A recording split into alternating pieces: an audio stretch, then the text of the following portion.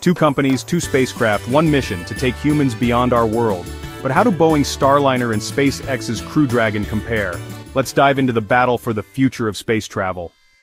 NASA's Commercial Crew Program was created to launch astronauts to the International Space Station without relying on Russia.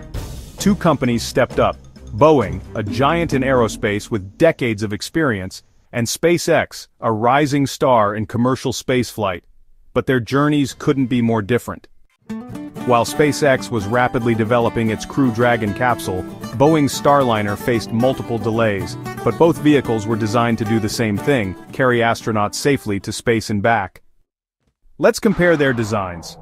Crew Dragon, built by SpaceX, features a sleek touchscreen interface, full automation, and the ability to carry up to seven astronauts. Meanwhile, Boeing's Starliner, designed for five crew members, retains a more traditional cockpit with manual controls. Both capsules rely on cutting-edge docking technology, but Crew Dragon uses SpaceX's custom-built Draco thrusters for precise maneuvering. Starliner, on the other hand, has Boeing's decades of spacecraft experience behind its design. Crew Dragon made history in 2020 as the first commercial spacecraft to launch humans to space. Since then, it has completed multiple successful missions to the ISS. Meanwhile, Starliner has faced setbacks, with an unmanned test flight failing in 2019 due to a software glitch. But Boeing didn't give up.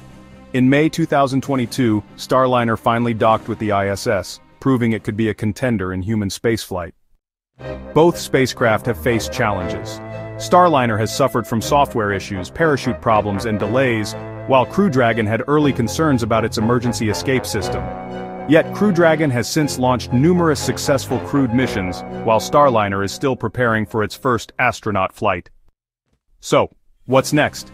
SpaceX is already eyeing deep space missions, while Boeing's Starliner is set to finally launch its first crewed mission in 2024.